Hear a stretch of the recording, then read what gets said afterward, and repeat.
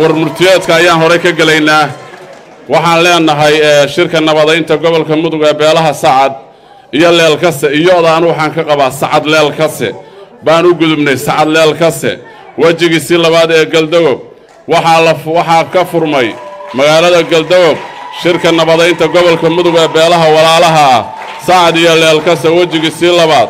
Taariikhdu markay ahayd sagaal iyo labaatankii juun laba boqol iyo labaatanka shirkaasoo horey loogu bilaabay in lagu qabto degmada galdagob si loo dhammaystiro wejigiisa labaad ee heshiiskii bandiiradley ku dhex maray labada beelood ee walaalaha ah ee sacad leelkase waxaa ka soo qaybgalay shirka galdagob erga kor u dhaafta shan boqol oo qof oo ka kala socota labada beelood matalayana dhammaan qaybaha kala duwan ee bulshada sida ciidamada siyaasiyiinta isimada nabadoonnada aqoon-yahanada ganacsatada dhallinyarada iyo haweenka. Oo dhammaantood u heelanaa nabadda gobolka mudug gaar ahaan talabaad gaar ahaan talabaadna labada beelood ee kor ku xusan wejigiisa labaad ee shirka oo si rasmia uga furmay sagaal iyo labaatankii juun laba boqol iyo labaatankii wuxuu socday ilaa iyo toddobadii juulaay oo ah muddo dhan sagaal cisho muddadaasna waxaa lagu arrinsanayay shirka qodobada hoos ku xidhan namber kow. Kala qaadashada qaybta koowaad ee magihii horay bandiiradley loogu soo heshiiyey namber labo muddaynta wejigii labaad ee kala qaadashada magta rafisada ah saddex go'aanka gaarista dhaawacyada kala gaaray labada beelood afar go'aanka gaarista dhiigga iyo dhaawaca lagu muransanaa shan kormeerka goobaha deegaanka labada beelood lix go'aanka gaarista arrimaha dhulka iyo deegaanka. Muddadii uu socday shirkana waxaa la qaatay qaybtii koowaad ee magta ee loogu magac daray agoon koriska oo dhammay toban kun oo dollar waxaa qaatay afartan qof bay ahaayeen dadku. Hal qof mooyaane intii kale. Hal qof mooyaane intii kale way qaateen. Waxaa qaatay afartan qof. Ayaa qaatay qof ayaan qaadan agoonkoriskii dadku ay wada ogyihiin sagaal iyo soddonna waa la qaatay. Halkaa waxaa ku socday saddex boqol iyo sagaashan kun oo dollar ee xaflad ballaaran oo loo sameeyey makala qaadashada tiradaas oo dhammayd ergada ka soo qaybgashay shirweynaha waxay isku raaceen in muddo lixdan casho ah oo ka bilaabanaysa maanta oo ay labada beelood ku kala qaateen. Qaybtii labaad ee magta rafisada ay ku kala qaataan oo magta ku qiimaysan tahay saddex iyo toban kun iyo laba boqol qofkiiba waa magta rafisada ah inay ku kala qaataan lixdan casho. Shirweynuhu wuxuu go'aan ka gaaray dhiigga iyo dhaawaca lagu muransanaa iyagoo kaashanaya guddiga culummada ee labada beelood. Waxaa muddo loo qabtay eegista iyo simidda dhaawacyada labada beelood ee ku beegan xilliga lagu bixinayo rafisada ayaa loo eegayaa dadkaa dhaawacyadooda loona simaya waxaa xusid mudan muddada uu socday shirku in guddi ballaaran oo ka kooban ciidamada nabadoon culimmada nabadoonnada siyaasiyiinta labada beelood ay booqasho iyo kormeer ku tageen jiidda dheer ee ay wada degaan beelaha walaalaha ah si loo ogaado xaaladda ka jirta deegaanadaas dadweynaha dadweynaha labada beelood oo lagu wacyigeliyey go'aanka nabadda ee ay gaareen labada beelood muddadii lagu jiray kormeerkaasna waxaa caddaatay inay lagama maarmaan ay tahay in guddi farsamo loo saaro xalka gaarista arrimaha deegaanka iyadoo laga ambaqaadayo heshiisyadii horey ay u wadaageen beelaha walaalaha. Ah odayaasha iyo waxgaradka labada beelood waxay ku heshiiyeen in la magacaabo guddi farsamo muddo dhan shan iyo afartan cisho oo ku soo bandhiga xalka waara ee ku aadan arrimaha deegaanka waxaana lagu ballamay ka hor muddada la kala qaadanayo rafisada in go'aan laga gaaro arrimaha deegaanka iyadoo laga duulayo heshiisyadii hore iyo xaaladda deegaanka. Shirka wejigiisi saddexaad wuxuu ka dhici doonaa magaalada gaalkacyo. Sidoo kale waxaa la isku raacay inaan deegaamayn cusub laga samayn karinin. Inta shirka wejigiisa saddexaad ee gaalkacyo looga ballamayo laguna gunaanadayo arrimahaas qofkii xabaashaa qotana isagaa lagu aasaya. Bulshada sacad. Beesha sacad waxay mahad ballaaran u soo jeedisay walaalahood beesha leelkase oo u fidiyey gogashaa nabadeed islamarkaana muujiyey soo dhoweyn iyo martisoor aada u sarreeya ee muddadii ay ergada beeshu ku sugnayd magaalada galdogob waxaa shirka muddadii uu socday waxaa shirka muddadii uu socday hareereeyey. Niyad sami damaashaad farxad martiqaad aan kala go' lahayn oo lama ilaawaan ah. Beesha leelkase waxay uga mahad celisay beesha ay walaalaha yihiin iyo ood wadaagga labadaba ee sacad in mugga iyo muqaamka ee mugga iyo muqaamka leh ee ay u soo ajiibeen sida mugga iyo muqaamka leh ay u soo ajiibeen gogashii iyo casumaadii loo fidiyey dhammaystirka wejigii labaad ee shirka nabadeynta beelaha walaalaha ah. Ergada labada beelood waxay u mahad celiyeen dhammaan dadkii ka qayb qaatay gogashaan nabadeed gogashaan nabadeed nabadeynta beelaha walaalaha ah heshiiskan oo horseed u noqon doona nabad waarta oo ka hirgasha dhammaan gobolka mudug iyo geyiga soomaaliyeed oo dhan. Shirweynaha labada beelood waxay ugu baaqayaan beelaha walaalaha ah ee soomaaliyeed inay joojiyaan colaadda dhexdooda ah kuna badashaan nabad iyo walaaltinimo iyo wada jir sida sacadleel kasta oo kale.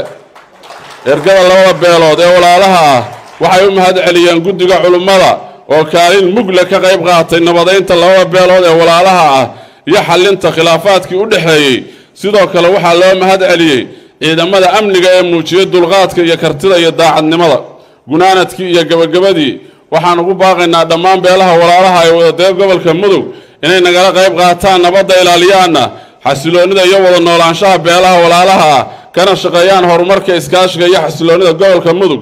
Wabilaahi towfiiq wakaa horta warmurtiyeedkii waxaan ka dhiisiinayaa inteedii yaraareed. Waxa weeye warku wuu maaragtay aruursanaa afartan qof oo dhimasho ayaa laga heshiiyey heshiiskan qaalinimadiisa. Dhaawacna waxaa laga heshiiyey koob iyo afartan ruux oo loo kala simaya laba bilood. Afartan qof baa laga qaadanayaa saddex iyo soddon geela. Waa kun saddex boqol iyo labaatan geela. Dadka guudoo laga heshiiyey waa sagaashan iyo laba qof. Ilaahay cirkan iyo dhulkan iyo xoolaha iyo geedaha iyo dhagxaanta iyo amwaasha wuxuu u abuuray bini aadanka dadka la yaabaya marka iyada oo maaragtay warmurtiyeedka ayaan horey ka gelaynaa waxaan leenahay shirka nabadeynta gobolka mudug ee beelaha sacad iyo leelkase iyoodaan waxaan ka qabaa sacad leelkase baan u gudubnay sacad leelkase wejigiisii labaad ee galdagob waxaa ka furmay magaalada galdagob shirka nabadeynta gobolka mudug ee beelaha walaalaha ah sacad iyo leelkase wejigiisii labaad taariikhdu markay ahayd sagaal iyo labaatankii juun laba boqol iyo labaatanka shirkaasoo horey loogu bilaabay in lagu qabto degmada galdagob si loo dhammaystiro wejigiisa labaad ee heshiiskii bandiiradley ku dhex maray labada beelood ee walaalaha ah ee sacad leelkase waxaa ka soo qaybgalay shirka galdagob erga kor u dhaafta shan boqol oo qof oo ka kala socota labada beelood matalayana dhammaan qaybaha kala duwan ee bulshada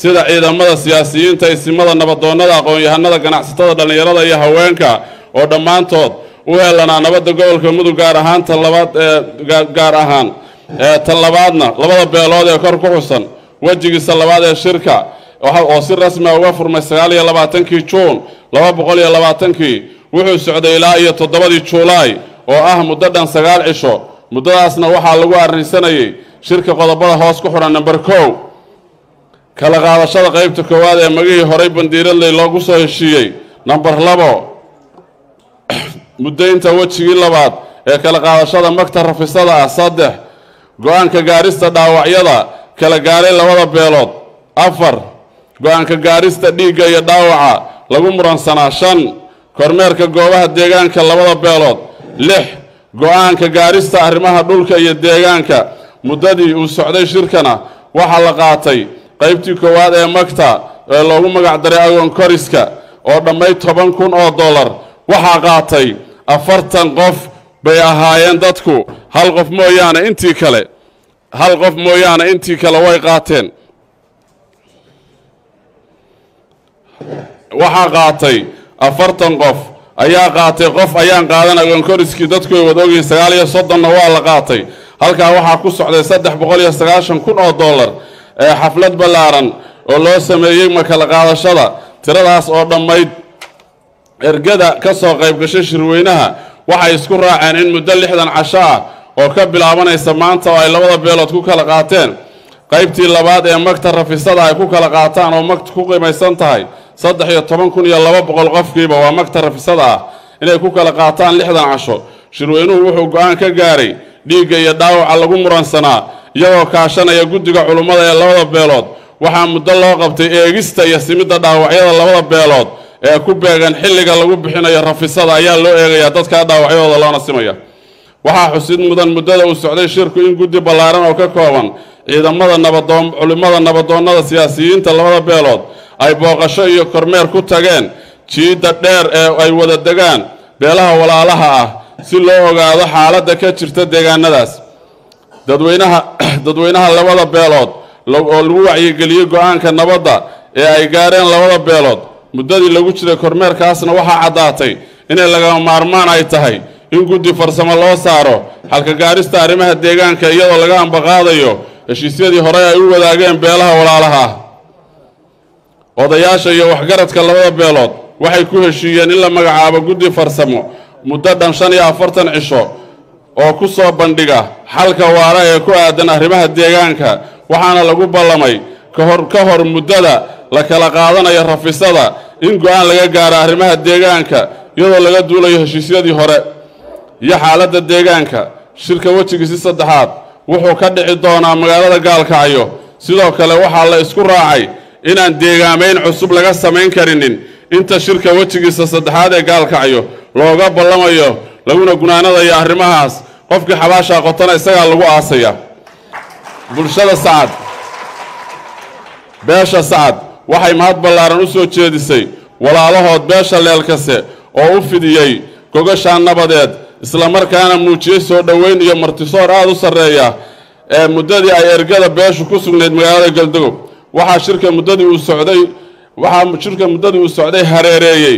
Niyad sami damaashaad farxad martiqaad aan kala go' lahayn oo lama ilaawaan ah beesha leelkase waxay uga mahad celisay. Beesha ay walaalaha ay yihiin iyo ood wadaagga labadaba ee sacad. In mugga iyo muqaamka ee mugga iyo muqaamka leh ee ay u soo ajiibeen sida mugga iyo muqaamka leh ay u soo ajiibeen gogashii iyo casumaadii loo fidiyey dhammaystirka wejigii labaad ee shirka nabadaynta beelaha walaalaha ah. Ergada labada beelood waxay u mahad celiyeen dhammaan dadkii ka qayb qaatay gogashaan nabadeed gogashaan nabadeed nabadaynta beelaha walaalaha ah heshiiskan oo horseed u noqon doona nabad waarta oo ka hirgasha dhammaan gobolka mudug iyo geyiga soomaaliyeed oo dhan. Shirweynaha labada beelood waxay ugu baaqayaan beelaha walaalaha ah ee soomaaliyeed inay joojiyaan colaadda dhexdooda ah kuna badashaan nabad iyo walaaltinimo iyo wada jir sida sacad leelkase oo kale. Ergada labada beelood ee walaalaha ah waxay u mahad celiyeen guddiga culummada oo kaalin mugle ka qayb qaatay nabadaynta labada beelood ee walaalaha ah iyo xallinta khilaafaadkii u dhexeeyey. Sidoo kale waxaa loo mahad celiyey ciidamada amniga ee muujiyey dulqaadka iyo kartida iyo daacadnimada gunaanadkii iyo gebagabadii waxaan ugu baaqaynaa dhammaan beelaha walaalaha ee wadadega gobolka mudug inay nagala qayb qaataan nabadda ilaaliyaana xasiloonnida iyo wada noolaanshaha beelaha walaalaha ah kana shaqeeyaan horumarka iskaashiga iyo xasiloonnida gobolka mudug. Wabilaahi towfiiq wakaa horta warmurtiyeedkii waxaan ka dhiisiinayaa inteedii yaraareed. Waxa weeye warkuu wuu maaragtay aruursanaa afartan qof oo dhimasho ayaa laga heshiiyey heshiiskan qaalinimadiisa. Dhaawacna waxaa laga heshiiyey koob iyo afartan ruux oo loo kala simaya laba bilood. Afartan qof baa laga qaadanayaa saddex iyo soddon geela. Waa kun saddex boqol iyo labaatan geelah dadka guudoo laga heshiiyey waa sagaashan iyo laba qof. Ilaahay cirkan iyo dhulkan iyo xoolaha iyo geedaha iyo dhagxaanta iyo amwaasha wuxuu u abuuray bini aadanka dadka la yaabaya marka iyadoo maaragtay